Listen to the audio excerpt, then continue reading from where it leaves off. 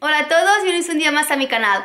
Con el vídeo de hoy inauguramos una nueva sección en el canal que van a ser vídeos de moda, DIYs de moda, muy fáciles de hacer y en un minuto. Vais a ver que todas las ideas que aparecerán en estos vídeos serán tendencia y que vamos a transformar las piezas de las tiendas en algo muy fácil y sobre todo muy barato.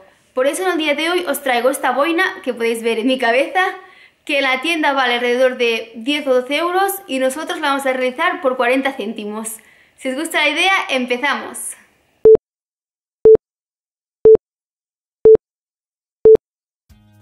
Lo primero que vamos a hacer son dos circunferencias con el compás, de unos 9 y 15 centímetros de radio.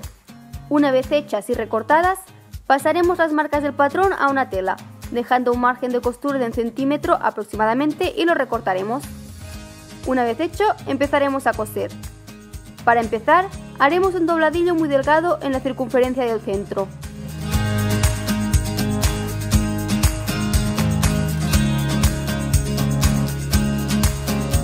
A continuación, enfrentaremos las dos caras bonitas de la tela y las coseremos por todo el alrededor.